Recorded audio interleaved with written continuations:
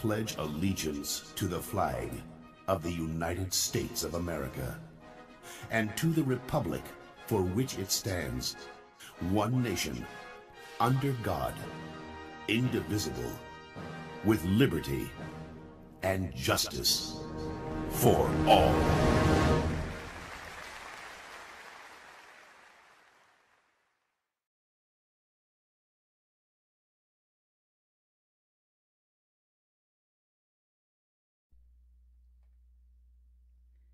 Please make yourself comfortable in your seat and begin to relax.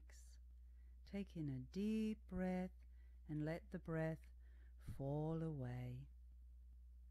Now, in a moment, you're going to hear the sound of singing crystal bowls. This is a deeply relaxing sound.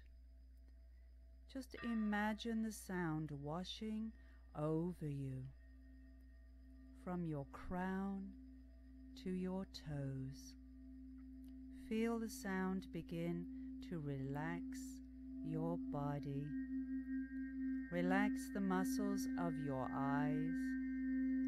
Part your teeth and allow your jaw to relax. As the sound of the singing bowls flows over you, feeling like warm sun on a lovely day, feel your shoulders relax and let the sound wash down your arms to your fingertips and down your spine, relaxing the muscles of your back. Just let yourself go.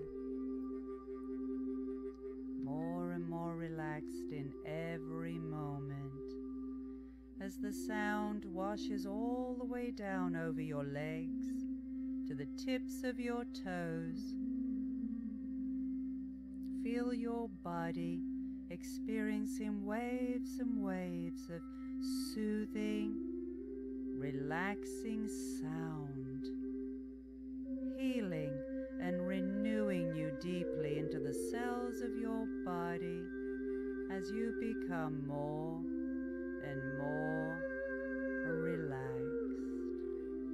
let yourself float on the sound, lighter and lighter and lighter still. Be light and free and deeply relaxed.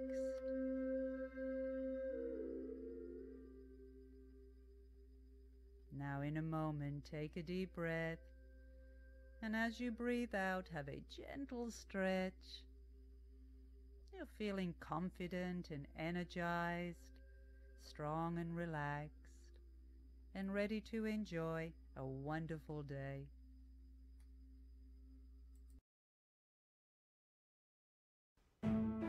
Time now for my final thought. Today we've been celebrating the 50th anniversary of Earth Day in the middle of our new normal. Throughout the day, activists and celebrities have engaged the world in spirited discussions, held online performances, and there were even lessons too. Since the shutdown, we've seen nature thrive in ways that few of us can remember. Endangered sea turtles in Florida are thriving according to researchers and the Sea Turtle Conservancy. Our verified team even talked with experts and learned about the 30% drop in the pollutant nitrogen dioxide in the atmosphere. And more animals are starting to explore areas usually packed with humans. Here's a group of goats taking over a town in Wales. Some call it an upside to the downside, but I think it's a peek at a better, more compassionate way of living.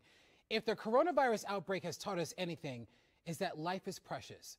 So why not do what you can to help ensure the safety and well-being of our neighbors and the environment? Once the shutdown is over, you will have a choice. You can either live a life more compassionately or not.